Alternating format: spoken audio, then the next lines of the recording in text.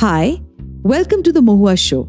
My name is Mohua Chinappa, and I am an author, entrepreneur, and ex housewife. This podcast is about everything from business to technology to arts to lifestyle, but done and spoken imandari se. Hi, in today's episode, we have Vandana Anchalia. Vandana is the founder and director of KAW.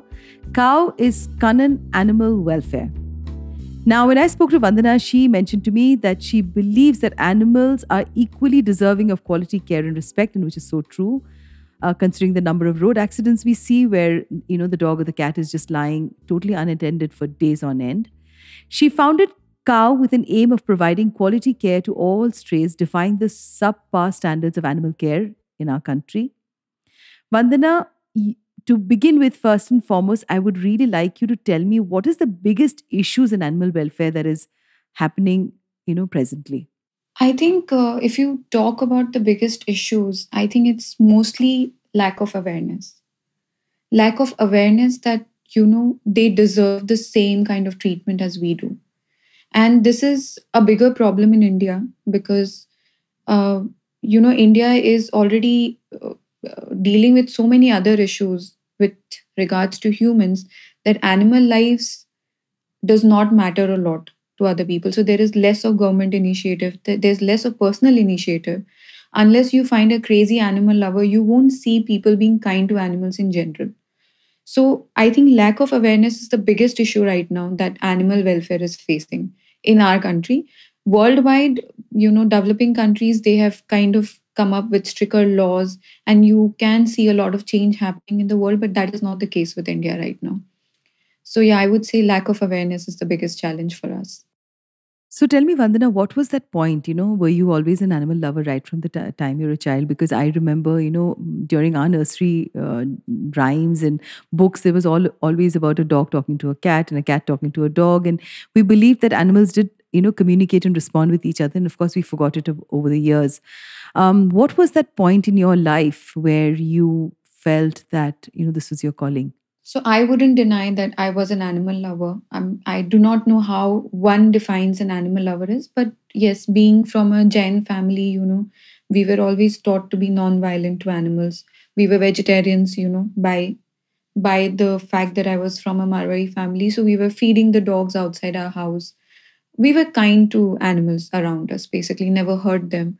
But uh, if you speak of this whole craziness about starting a non-profit organization and you know pursuing this as my passion was not something that I, I had identified at that point in time. It only happened uh, very recently. That was in 2014 when I saw one of my neighbors like beating a dog to almost death, oh and God.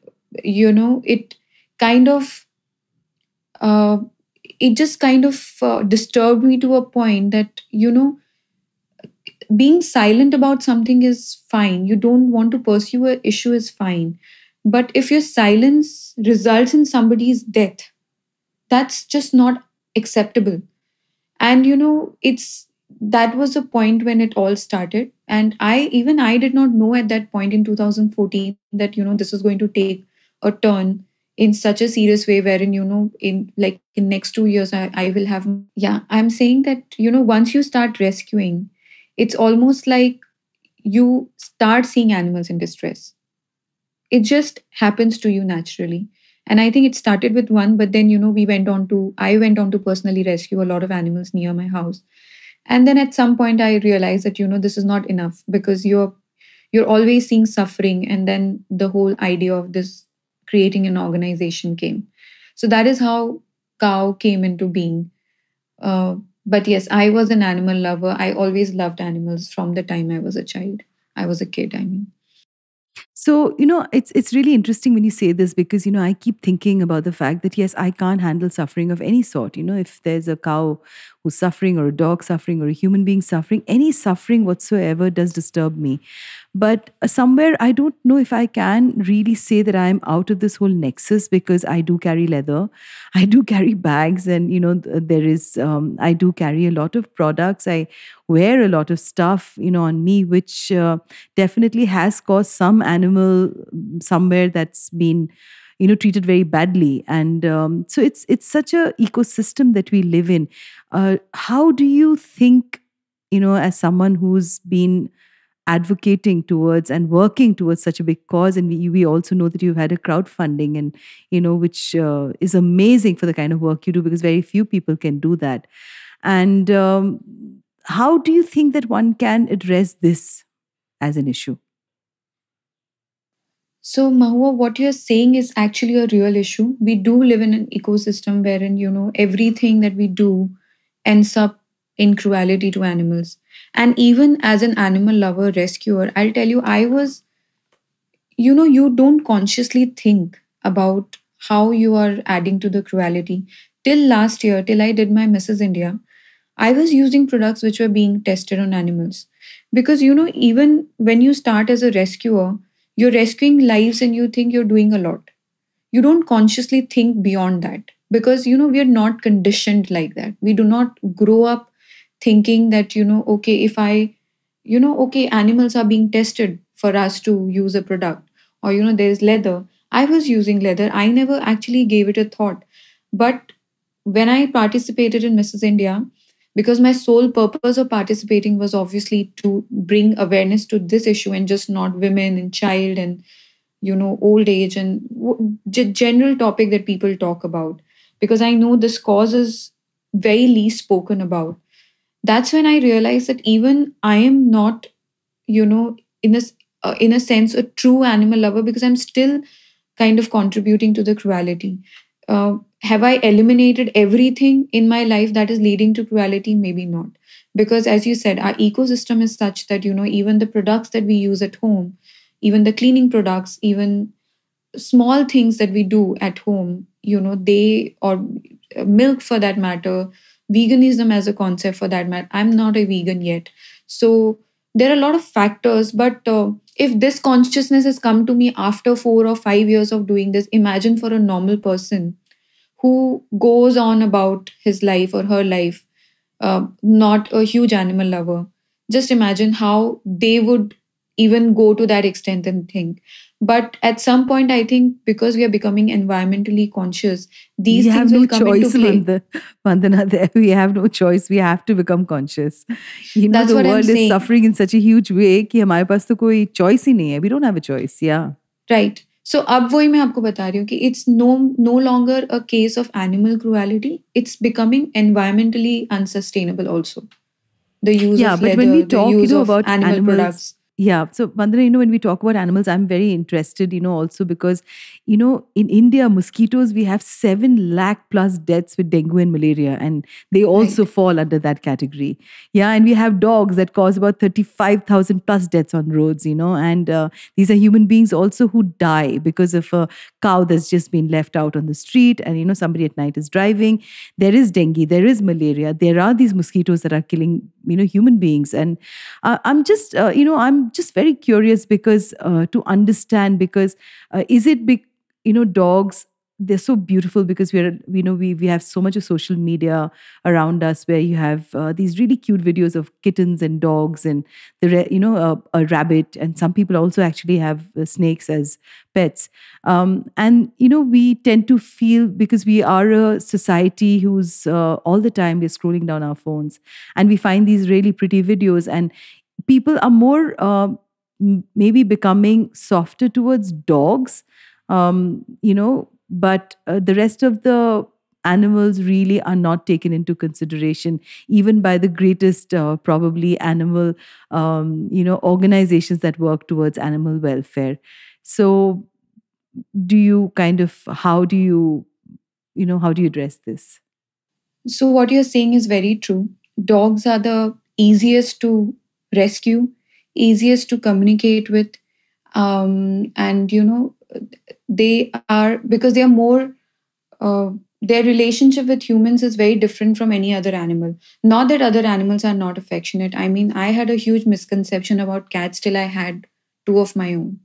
Only when you have them, you understand their way of being affectionate is completely different from you know how a dog interacts with you but um, yeah there is a bias obviously but it's not that there are not people doing particular kind of rescues but it is really the lack of awareness infrastructure resources in india that leads to this bias because if you go abroad you will see rescues for all kind of animals farm animals have their own rescues cats have their own rescues dogs have yeah, their but own rescues. human beings here don't have rescues. So, you know, India is not even a country that we can really compare, you know, with. The that's what i'm saying it's standards, that's yeah. the problem Mm. that's the problem that india is dealing with its its own issues of human uh, population uh, humans dying you know with this pandemic and everything is so uh, we you know we are always around humans that we we are not even able to solve that so you know i'll just give you a very small example if a crime happens with an animal you go to the police station you try to lodge an fir they they are so overwhelmed with their own human cases that they don't want to take it up and they ask us for the logic कि you know हम इंसानों का नहीं कर पा रहे हैं और आप कुत्ते का केस लेके आ गए हो you understand so there is there is a disbalance there but at some point you know we have to understand that it has to go hand in hand because nobody is above uh, someone else even animals are living beings nobody is above them so there is bias but we as a country have a long way to go when it comes to animal rights and welfare yeah i think this is a very very you know it's a very it's a long drawn uh, conversation because you know like i said that for you know for most of us we find these very cute videos of dogs and uh, you know and cats and uh, animals that can be kept at home with the human being and uh, they are uh, maybe you know they are on the uh, better part of the food chain unlike a whole lot of other animals that have the equal amount of probably affection which is not yet known and um, yeah so it's it's it's like you know mm, for because I, I was just talking to someone and they said the number of deaths that happen on roads there are stray dogs that are outside they often you know bark and they're uh, you know they catch people who are coming back late at night who are riding a bike and they you know they end up getting bitten by the dogs. And these are all very poor people you know who are probably doing a late night shift you know from a um, restaurant or from a hospital and so these are serious issues that happen in india you know so obviously animal love is going to be so much in question because there's so many other things that are so large uh, vandana uh, but So when you talk about, sorry to interrupt you there, when Yes. you talk about deaths because of dog, I'll tell you there is in multiples of hundred, the dogs are dying every day because of human cruelty, dogs being run over, you know, dogs not having shelter, dogs not having food. And what you're talking about is just a very small portion of, as I said, you know, we have to uh, come a long way when it comes to animal rights. The dog population certainly needs to go down. It is unsustainable to have millions of dogs on the street. You Hmm. have to start a you know spay and sterilization program process? to co- correct yeah to control the population. But as I said, this is not government's priority right now. And there is so much corruption. You you know in our country, even if somebody gets a ABC contract, there's so much corruption within the government who's giving you the contract that it is impossible to reach the target that you want to. At the pace India is doing sterilization, we will never solve this problem. Because by the time you complete 20,000, there are 1 lakh which are reproduced already. Because a dog is capable of producing yeah, a yeah they litter of have a six to litter eight. yes Yeah. yes so you know this is this is unsustainable because of that. So no even as an animal lover i understand that feeding the dog or you know just looking after the dog is not going to solve the problem. The problem will only get solved when we start sterilizing and you know the population goes down and there is no homeless dogs on the street. Even dogs on the street is not a good thing. It's not good for the dogs it's not good for the humans because they are territorial by nature and if they see somebody you know coming into their territory they will chase it's a natural behavior So tell me, you have sent uh, dogs from India uh, abroad. There have been families who've uh, taken dogs. Yeah. There has been a rule with the government, if I'm not mistaken, because, you know, in India, we still have rabies, unlike uh, the countries abroad, because, you know, dogs outside, I don't think they have rabies. Am I right? no so it depends country to country um, we majorly send our dogs to canada and us Okay. uh, countries like australia and uh, europe for that matter has stricter rules uh, for import or export of dogs just for the simple fact that india has rabies yes. recently us has also put a ban on india yes. uh, yes. to send any sort that. of uh, dogs Yeah. who are adoptable just for the simple reason the strain of rabies that was not in US has been identified from the dogs that have been coming from abroad, but not necessarily from India. Uh, they were taking a lot of dogs from China, Korea, the dogs who've been saved from, you know, meat trade and all of that. So we don't exactly know from where the strain of rabies came, but still, you know, it was a blanket ban on all the 131 countries that fall into that category. So India, unfortunately, is a tier three country, which still has very active cases of rabies. US is a tier two country, and then countries like Australia, they are tier one countries where there is no rabies at all. So Has we this still affected fall you, into Vandana, in uh, you know?